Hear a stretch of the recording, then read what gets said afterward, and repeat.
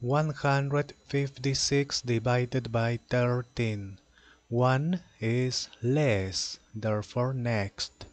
15 is not less, therefore with 15. 13 multiplied by which number is nearest to 15, but not greater. 13 multiplied by 2, 26, is greater. Multiply by 1, 13, okay, is not greater. Subtract 15 minus 13, 2. Next, 26. 13 multiplied by 2, 26, is not greater, okay. Subtract, subtract 0. Next, that is not number, therefore finish it.